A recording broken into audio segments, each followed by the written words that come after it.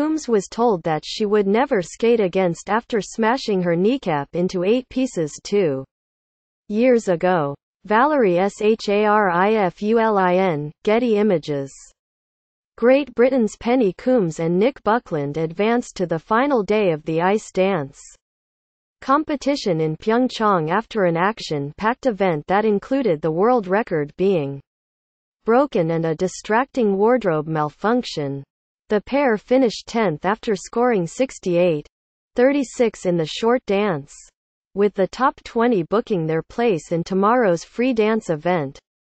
The medals will be awarded to the partnerships that produce the highest cumulative scores across the two events.